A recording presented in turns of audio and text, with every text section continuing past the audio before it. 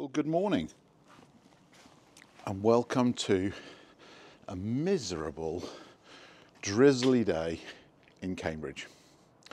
Now, today I want to talk about free electricity. Not cheap rate, not smart tariffs, but free electricity. Now, I'm not talking about the kind of free electricity that comes from solar or from any other form of energy that you might have stored in batteries. I'm talking about free power from your electricity company.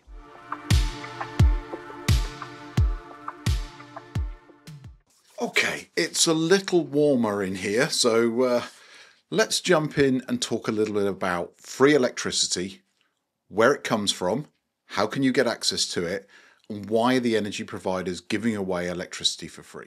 Now, before we start, I should say that this is based on my experience with Octopus Energy, other providers may have completely different schemes. So everything I'm going to talk about today is based upon Octopus Energy. If you're with another provider, please check out their websites to see what it is that they offer and what you can get from them. So let's start with how this works. Now, Octopus actually run a number of different schemes. Um, this particular one that I'm going to talk about today is called Octopus Power Ups. Now, this runs uh, in different parts of the country at different times, so not everybody gets free energy at the same time. Um, but I'm just going to talk about my experiences here in the east of England. So, every so often, no regular pattern, we receive an email, um, usually with about 12 to 24 hours notice, saying that um, Octopus are going to make the energy available for free and then they give us a time period. Now, there are a number of different schemes here. There are versions where they will give you free energy above what you use normally. Or there are the versions that we get in the east of England called power ups, where you just get free energy for that whole time, no matter what you use. Um, there are no uh, limits on it. You can use as much power as you like. And the way it works is it will get credit to, to your bill at the normal rate and then later on, usually within one to two weeks, you will see a deduction from your bill once they've worked out exactly what you've used. Then, once it's all finished, you get an email like this. Now, quite often you'll find that uh, during days when it's really windy, we get multiple of these power ups, maybe two or three a week, and then we might not get any for a month. But in this case, um, they will sum them all up together. So you can see here, um, I received an email saying that I received thirty pounds and five pence of uh, uh, credit to my account for the electricity that I use. As I said, they they just bill it as normal, and then they do all the maths later to tell you what you're going to get back and then it just gets credited to your account. So there may be times when you overlap a billing period where you might actually pay for the power you used, but a few days later you get the money back. So it, it all works out in the end. It's important here to differentiate between free electricity and the agile tariff. Agile is a tariff where the price of your energy changes every 30 minutes. And that particular tariff, um, for those that have been on it during November, has seen some very high energy prices. Um, but generally, it tracks quite low, you know, sort of 14, 15 pence a kilowatt, uh, averaged over a year. Um, but there are times on the Agile tariff where your price will go negative. So you'll actually be paying less. You'll get more than free um, if you're on Agile. But the free energy really applies to people on tariffs like Intelligent Octopus Go or Economy 7 or a standard tracker. Anyone can get access to these free energy periods if they're available in your region. Um, Agile, as you can see here, this sort of shows the, the average pricing here. And when I've been on Agile, and generally I run on Agile from about March to October every year. Um, uh, there are some periods where the energy price goes negative. Again, generally when there's a lot of wind, we will see those prices start to drop down. Um, great time to get negatively priced energy, to get paid for using energy. So, why do energy companies like Octopus give away free electricity? What's in it for them? because they're not just doing it out the goodness of their heart. So if you take a look at the email that we, they send out, down at the bottom there it says, We'll give you free electricity because we don't want it to go to waste. Now, why would electricity be going to waste? Well, if you actually look at the way our power plants and our, our structure of our energy grid is, is set up, we have a mix of different types of power plants. Um, in fact, this chart's already out of date because we don't actually have any coal plants anymore, but we have some renewables, we have some gas, some oil, and some nuclear in that mix as well. And we also import power from other countries. We import power when it's cheap from, from Norway when they have uh, abundant hydroelectric power. But power plants aren't just like a wall switch. You can't just flick them off and flick them on. So, oh, we don't need the power from it right now, turn it off, uh, because they have a startup and a shutdown time. And depending on the type of plant, this could be anything from a minute to turn on a wind turbine, all the way up to many days to turn on a nuclear power plant. Now, to turn these plants off, requires human intervention. It requires people and processes and time, and all of that just adds cost to the process, especially if you're doing it maybe multiple times in one day. Now, from the energy provider's point of view, it is much cheaper just to leave those plants generating.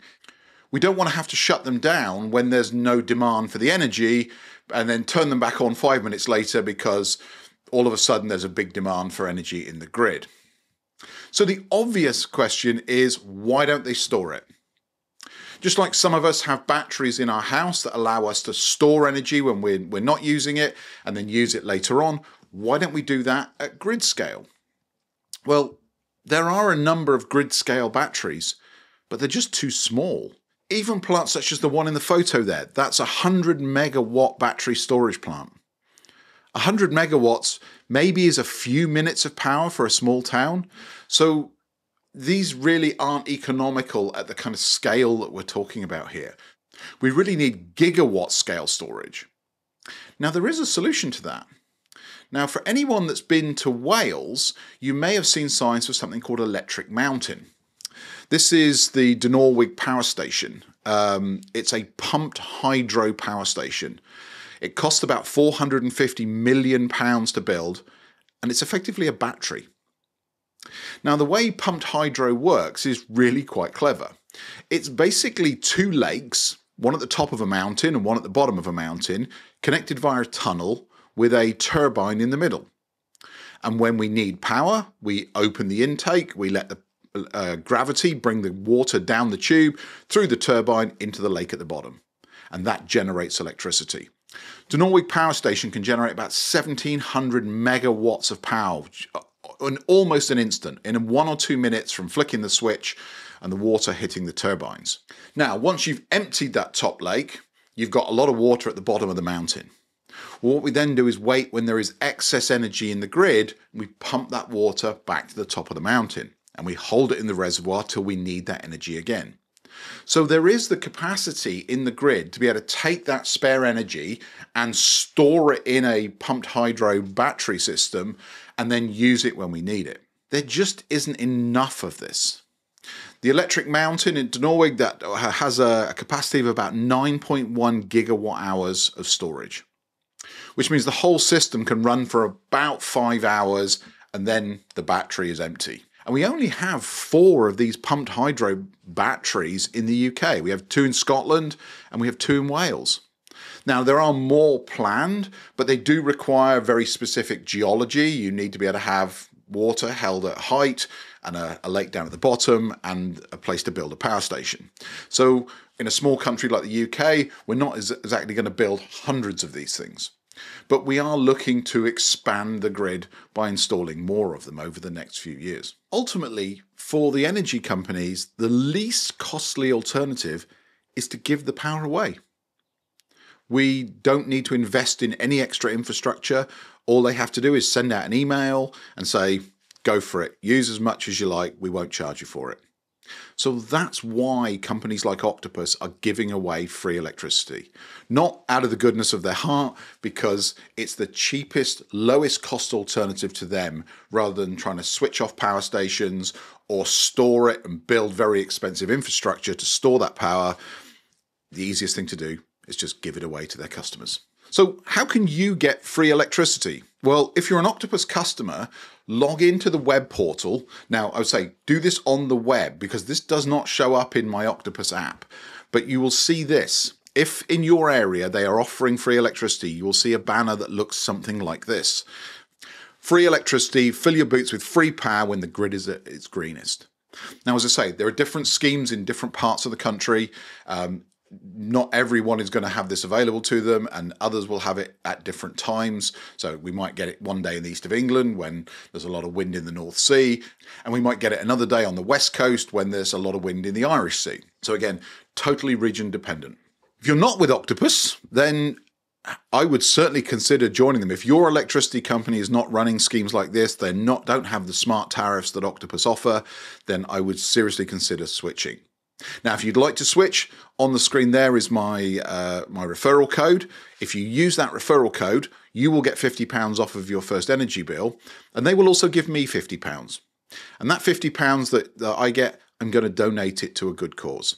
So if you'd like to do some good, you want to give some money to a good cause, then use the link on the screen. It's also in the description below if you would like to sign up to Octopus. So with that, I hope you found this useful. Um, I've tried to lay out why it makes sense for Octopus to give away free electricity. I'm sure there are other reasons that they haven't publicized, but the main reason is, is they don't want to see the energy going to waste. And if they can't use it, then they have to shut down power stations. And that could be turning off wind turbines, it could be shutting down gas power stations, but all of that brings extra cost to their business. And ultimately, those extra costs get passed on to their customers. I hope you found this useful. If you have, a like and subscribe would be really appreciated. With that, I'm going to sign off. And if I'm lucky, I'll see you back here real soon for another video. Take care.